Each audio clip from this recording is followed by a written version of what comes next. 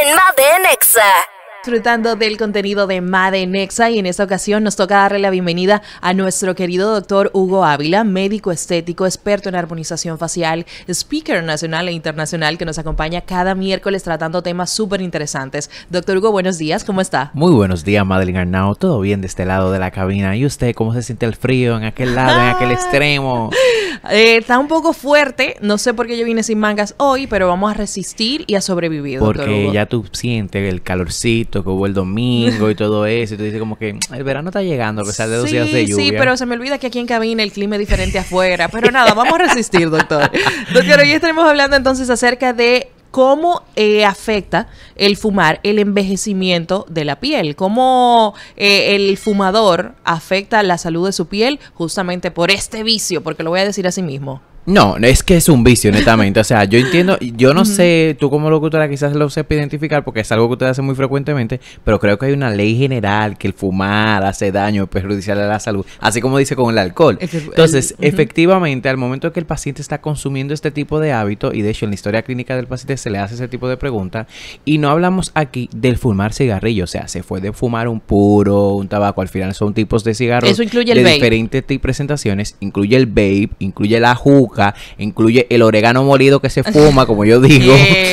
Exactamente, Ah, lo dije así, el orégano Qué decente, Exacto, pero todo el mundo sabemos de lo que estamos hablando. Entonces, en ese tipo de variantes o en estos tipos de presentaciones de consumo de cigarrillo o de fumar, lamentándolo mucho, hace un daño a la salud de la piel. Que hay mucha gente, perdón, que se pregunta cuando eh, llegan a una primera visita a diferentes tipos de especialistas, por lo general le hacen un formulario a usted para conocer un poco su historial clínico. Y está la pregunta, ¿usted fuma? Y la gente se pregunta, pero si yo vengo a una estética, ¿por qué me preguntan si yo fumo? Oh, pero esa es la pregunta Ajá. número uno que yo digo, pero es que eso debemos de saberlo más que saber si usted consume alcohol. En el Porque caso de alcohol, medicina estética, ¿por qué? Muchas veces dicen, ah, no, yo consumo alcohol ocasional, pero en el caso de la medicina estética e incluso en toda la medicina en sentido general, el fumar hace cierto tipo de daño más agresivo que cualquier otro tipo de mal hábito, de hábito tóxico, porque incluso consumir café aquí a los café lovers eh, hace un daño a la piel. Gracias. As- no, doctor. Sí, no se lo quería dañar. No. Le, le exploté la burbuja así, ¡po! Pero no se la voy a explotar el día de hoy.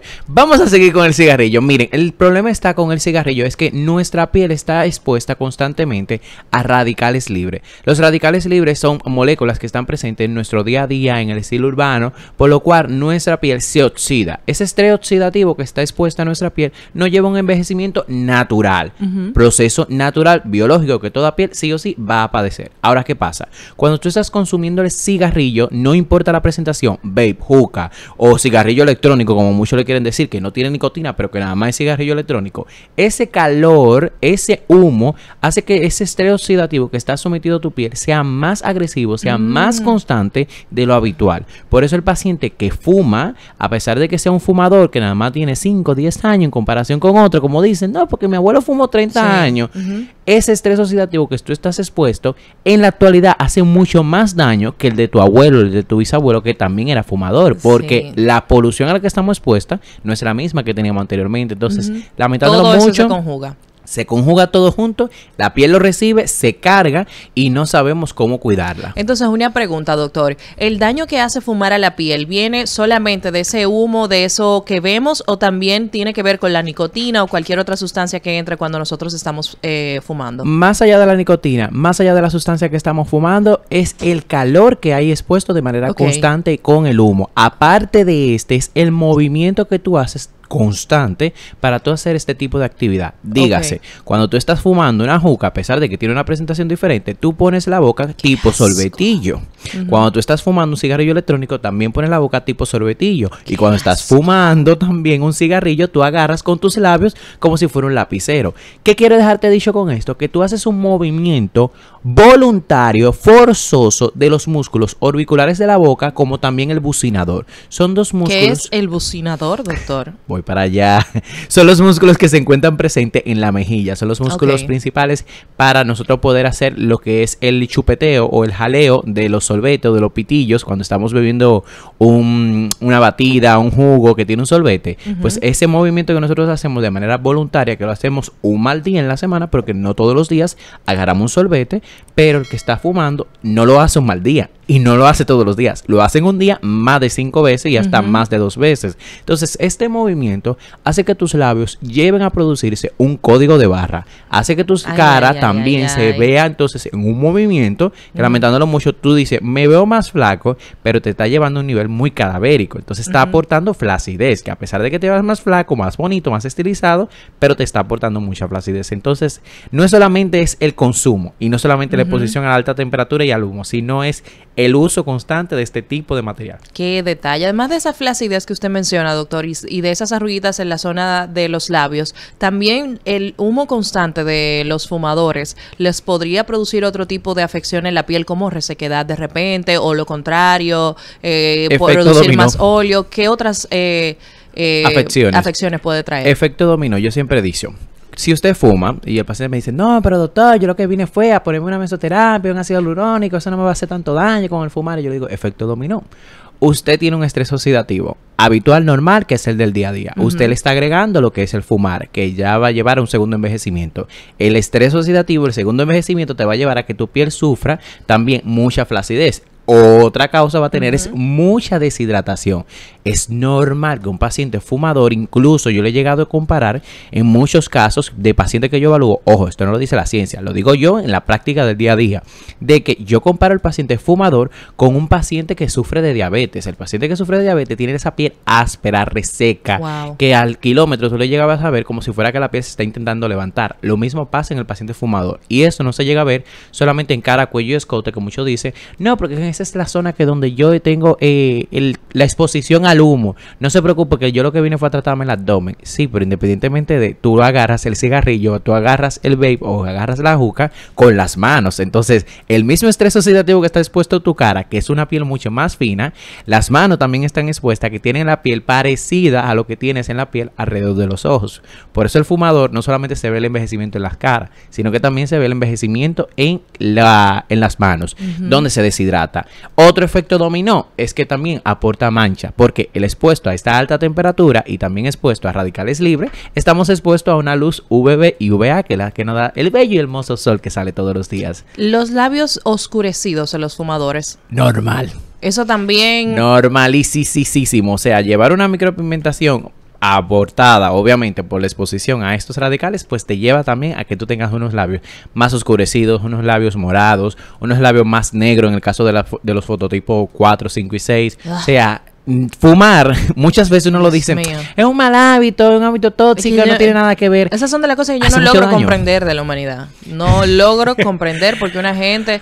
No, y hay personas Como yo que no dicen... logro comprender cuando el paciente se levanta y me dice que tiene que consumir una taza de café para poder levantarse, pero está bien, Bueno, sigamos. hay personas que dicen que el cigarrillo les ayuda con la ansiedad y demás, pero wow.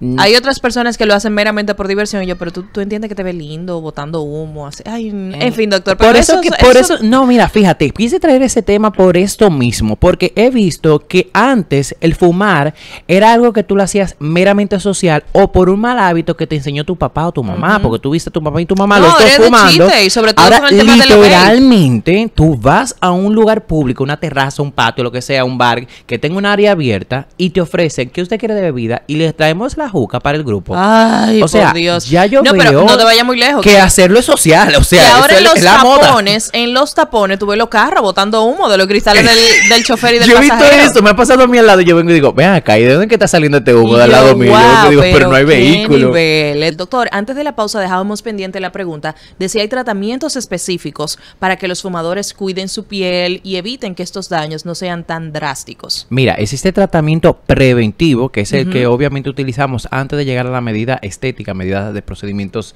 eh, invasivos. El procedimiento eh, preventivo, les recomiendo siempre al paciente, es una buena hidratación. Y no hablo de hidratación oral, sino de hidratación de la piel.